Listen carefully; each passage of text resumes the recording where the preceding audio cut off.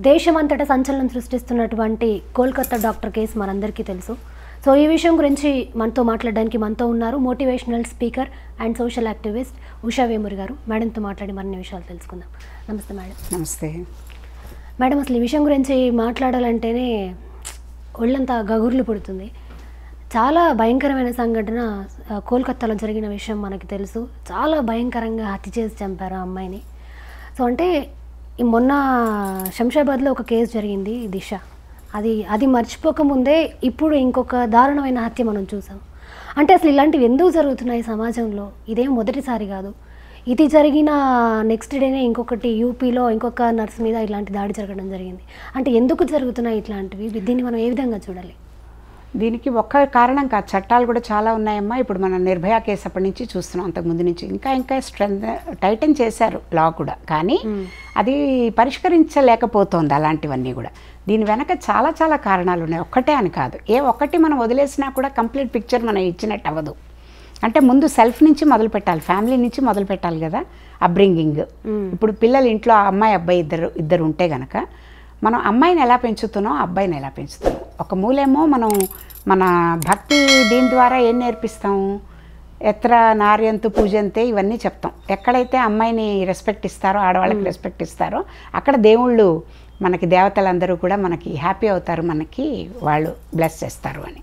మరి అలా ఇంటి దగ్గర మనం పూజకేమో అలా భావిస్తూ సొసైటీలోకి వచ్చాకను పిల్లల విషయంలో కూడా ఆడపిల్లని ఒకలాగా మగపిల్లాడిని ఒకలాగా పెంచి వివక్ష చూపించి వీళ్ళు చేసే తప్పు. ఇప్పుడు ఏదైనా ఇలాంటివి జరగంగానే మామూలు సమాజం కూడా ఏమంటుంది? వాళ్ళు ఎలాంటి బట్టలు వేసుకున్నారు? ఆ టైంలో అక్కడికి వెళ్ళడానికి ఏం అవసరం? అంత లేట్ అవర్స్ అక్కడ ఎందుకు తిరగాలి? ఇవి కాదు కావాల్సింది. పనులు ఉంటాయి ఎన్నో రకాల ఫ్యాక్టర్స్ ఉంటాయి. అంటే ఒక టైంలో వెళ్తే ఇది జరగచ్చు ఇదైతే అప్రూవ్డ్ ఇది కాదు అని లేదు కదా? బట్టలు అలా వేసుకోవడం అంటే వాళ్ళకి ఎలా బట్టలు ఆ దీనికి ఎలా వాళ్ళకి ఎక్స్పెక్ట్ చేస్తారో అలాంటి బట్టలు వేసుకుంటారు. తప్పే ఉంది. అది బట్టల వల్ల మరి అలా అయితే వెస్ట్రన్ వరల్డ్లో వాళ్ళంతా అలాంటి బట్టలు వేసుకున్నప్పుడు రోజు రోజు జరగాలిగా? అవుతున్నాయా? లేదు. మన దగ్గర చీర కట్టుకున్న వాళ్ళ జోలికి ఎవరు రావట్లేదా? ఎందుకు రావట్లేదు మేడం? మరి బట్టల్ని బట్టి కాదు. ఇలాంటి ఎక్స్క్యూజెస్ కాదు. అసలు చిత్తశుద్ధి అసలు సంస్కారం మనుషుల్లో ఉంటే గనక ఇలాంటివి జరిగే అవకాశం. పెంపకం ఫస్ట్ మనం చెప్పుకోవాలి ఇంట్లో తల్లిదండ్రులకి. తల్లిదండ్రుల పెంపకం అమ్మాయి అబ్బాయిని కూడా ఈక్వల్గా పెంచడం వీళ్ళకి ఏదైతే మహిళా సాధికారత అని మనం వేరేగా మాట్లాడుతున్నామో అట్లాగే ఎంపవర్మెంట్ అనేది అబ్రింగింగ్లో చిన్నప్పటి నుంచే న్యాచురల్గా రావాలి. అమ్మాయి ఒక దీనికి ఒక పర్పస్కి అబ్బాయికి ఒక పర్పస్కి అన్నప్పుడు ఎవరికి ఉండే శక్తియుక్తులు వాళ్ళకు ఉన్నప్పుడు ఇద్దరిని ఈక్వల్గా ట్రీట్ చేయడం అనేది అబ్రింగింగ్ నుంచి మొదలవ్వాలి.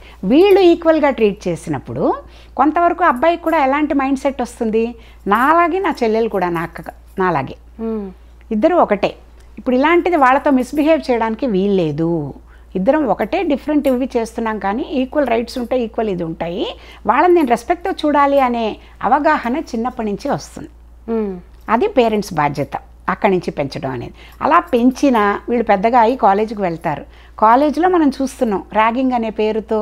లేకపోతే ఇలాగా పెద్ద పెద్ద పొలిటికల్ బ్యాక్గ్రౌండ్స్ నుంచో బిజినెస్ బ్యాక్గ్రౌండ్స్ నుంచో వచ్చిన వాళ్ళు రకరకాల వ్యసనాలకి బానిసలైన వాళ్ళు డ్రగ్స్ తీసుకునే వాళ్ళు తాగుడు ఇలాంటి వీటికి అలవాటు పడిన వాళ్ళు వాళ్ళకి ఏమవుతుందంటే అలాంటి స్టేట్లో ఇనబరేటెడ్ కండిషన్లో ఉన్నప్పుడు వాళ్ళకి వాళ్ళ మతి స్థిమితం ఉండదు. వాళ్ళకి తెలియదు వాళ్ళు ఏం చేస్తున్నారు. వాళ్ళకి మతి సరిగ్గా పనిచేయనప్పుడు మైండ్ సరిగ్గా పనిచేయనప్పుడు వాళ్ళు ఏం చేస్తున్నారో వాళ్ళకి ఎలా తెలుస్తుంది? చాలామందికి తర్వాత ఒకవేళ ఆ ఇది కండిషన్ నుంచి బయటకు వచ్చా ఇప్పుడు ఒక తప్పు ఆ దీంట్లో చేస్తారు. తర్వాత తప్పు తప్పు నుంచి ఎలా బయటపడాలో ఆలోచిస్తారు. అంతే కదా? ఇప్పుడు ఎలా జీవితం అంతా ముందుంది ఇరవై ఏళ్ళు లేవు పాతికేళ్ళు లేవు నేను ఇట్లాంటి పని చేశాను రేపు పొద్దున ఎట్లా? కాబట్టి ఇన్ఫ్లుయెన్స్ పెట్టడం.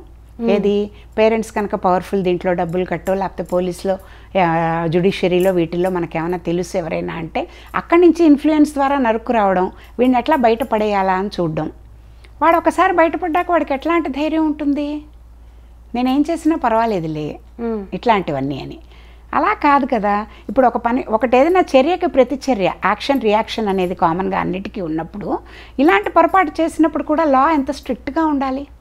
అవును. ఎవరైనా ఒకటే. అంటే లా ముందు మనకి చట్టానికి కళ్ళు లేవని చెప్పేసి అది దీనికి ఎందుకు కట్టేస్తారు? ఎవరైనా కానీ లా ముందు సమానమే అని చెప్పడానికి కదా కదా? అవును. తప్పు ఎవరు చేసినా కూడా శిక్షకి అర్హులు వాళ్ళు. వాళ్ళ బ్యాక్గ్రౌండ్ని బట్టి కానీ వాళ్ళకి డబ్బుల్ని బట్టి కానీ పవర్ని బట్టి కానీ సంబంధం లేదు. అది గనక కరెక్ట్గా ఎగ్జిక్యూట్ చేయగలిగితే ఇట్లాంటి నేరాలు కూడా చేయడానికి భయం ఉంటుంది జనాలకి. అవును. అదేమో ఆ- ఆ కండిషన్ మ్మ్. తర్వాత సరే దాని నుంచి తర్వాత ఎందుకు మన భారత చట్టంలో వీళ్ళకి పనిష్మెంట్ క్యాపిటల్ పనిష్మెంట్స్ బయట దేశాలు కొన్ని దేశాల్లో ఉన్నట్టుగా ఎందుకు ఇవ్వట్లేదు? మనం ఏం ఆలోచించామంటే మంచి పద్ధతిలో సనాతన ధర్మం ప్రకారం వాడిని శిక్షించడం కరెక్ట్ కాదు. ఎవరైనా ఈ తప్పు చేసిన వాడిని శిక్షకి శిక్ష ప్రతిచర్య చేయడం కరెక్ట్ కాదు. ట్రాన్స్ఫార్మ్ చేసి వాడిని మామూలు సభ్య సమాజంలోకి తేవాలి అని నమ్మాం.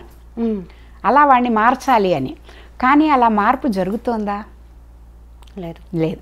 ఇప్పుడు లాక్ ఏంటి? మనకి ప్రూఫ్ కావాలి. ఏదైనా ఒక పొరపాటు జరిగినప్పుడు దానికి ఒక ప్రూఫ్ కావాలి. మరి ప్రూఫ్ ప్రూఫ్ చేసే చేయడానికి మనకు అక్కడ ఇన్ని రోజులు పడుతున్నప్పుడు ఇన్నేళ్ళు పడుతున్నప్పుడు మనం ఎలా ప్రూవ్ చేయగలుగుతాం? ఏదైనా కూడా ఇంత లోపల సాక్ష్యాలు తారుమారవచ్చు డబ్బు పెట్టి కొనుక్కోవచ్చు. ఈ వీళ్ళు చచ్చిపోవచ్చు కొంతమంది. ఇంకా దేల్ బి నో మోర్ అనుకో. వా- ఇంకా అసలు వాడు కోర్టుకు వచ్చి సాక్ష్యం చెప్పే పరిస్థితి ఎక్కడ ఉంటుంది ఇన్నిన్నేళ్ళు అవుతుంటే? అలాగే మేడం ఇంకొక పాయింట్ అంటే ఇప్పుడు మీరు సాక్ష్యం బయటికి రావడానికి ఇంత టైం పడుతుంది అంటున్నారు కదా. ఒకవేళ సాక్ష్యం బయటికి వచ్చినా కూడా హంతకులకి శిక్ష శిక్ష కూడా పడట్లేదు? పడదు. అందుకనే వీళ్ళకి ఇంకొంచెం ధైర్యం ఎక్కువ అవుతుంది. మన ఇండియాలో అన్ఫార్చునేట్లీ మనకి లా సరిగ్గానే ఉన్నా కూడా దాన్ని ఎప్పటికప్పుడు అప్డేట్ చేయడం అనేది జరగటం లేదు. చట్టాన్ని కరెక్షన్స్ ఎక్కడైతే చేయాలో మిగిలిన అన్ని లాలకి కరెక్షన్స్ ఇన్కమ్ ట్యాక్స్ అనగానే దాన్ని మనం ప్రతి సంవత్సరం మనం లిమిట్స్ పెంచుకోవడం ట్యాక్స్ రేట్లు పెంచడం అన్నీ చేస్తున్నామా? చేస్తున్నారు. ఎందుకు? ఇన్ఫ్లేషన్లు అవన్నీ దృష్టిలో పెట్టుకుని మనకు వస్తున్న దీన్ని బట్టి మార్పులు మరి మిగిలిన వాటిల్లో ముఖ్యమైన వాటిల్లో ఎందుకు చేయలేకపోతున్నాం? రావట్లేదు? చెయ్యాలి అన్నీ కూడా మార్పులు చేసుకోవాలి.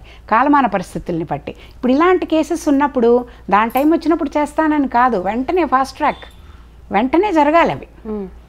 అట్లా దాన్ని ప్రయారిటీ మీద తీసుకుని మాకు ఇంకా కేసెస్ పెండింగ్ ఉన్నాయి. ఇది ఎమర్జెన్సీ కేసులో ఇప్పుడు డాక్టర్ దగ్గరకు ఒక పేషెంట్ వస్తాడు. ఆయన దగ్గర మనం అపాయింట్మెంట్ తీసుకుని వెళ్ళిన కేసులు చూసేది ఒక లైన్ ఉంటుంది. ఎమర్జెన్సీతో వచ్చిన వాడిని నేను చూడను నువ్వు తర్వాత రా అని ఏ డాక్టర్ అండు. ప్రాణం పోవచ్చు అప్పటికి. ఎమర్జెన్సీకి పక్కన ఇంకో లైన్ ఉంటుంది. ఇది ఎమర్జెన్సీ మ్మ్. హెల్త్కి అది ఎలా ఎమర్జెన్సీయో లీగల్ ఇష్యూస్కి ఇది ఎమర్జెన్సీ అనుకుని ఇలాంటి కేసుల్లో ఇమ్మీడియట్గా వారం రోజుల లోపల మొత్తం తేల్చేయాలి అసలు. అలా చట్టాలకు కూడా మార్పులు చేసుకుంటే తప్పు చేసేవాడికి కూడా కొంచెం భయం ఉంటుంది. అంటే నేను చట్టానికి అధిగమించి నేను తప్పించుకోలేను అనే భయం ఉంటుందన్నమాట వెంటనే అవుతుంది అని. ఓకే. ఆ మార్పు ఆ డైరెక్షన్లో రావాలి. దానికి కూడా అందరం ఫైట్ చేయాలి ఒక్కొక్కటి ఒక్కొక్కటి మనం. ఏంటంటే గవర్నమెంట్ని కూడా మనం ఇన్ఫ్లుయెన్స్ చేసి కనీసం కొంత రిక్వెస్ట్ ద్వారా డిమాండ్స్ ద్వారా రోడ్ల మీదకి వచ్చి ప్రొటెస్ట్ల ద్వారా ఇలాంటివి చేస్తే కనీసం కొంతైనా మార్పు తెచ్చే అవకాశం ఏమైనా ఉంటుందేమో అని ఆశ. కామన్ మ్యాన్గా ట్యాక్స్ పేయర్గా మనందరికీ ఆ రైట్ ఉంది. క్వశ్చన్ చేసే రైట్ ముందు మన సేఫ్టీ సెక్యూరిటీ ఇష్యూస్ కదా ఇవి. మ్మ్.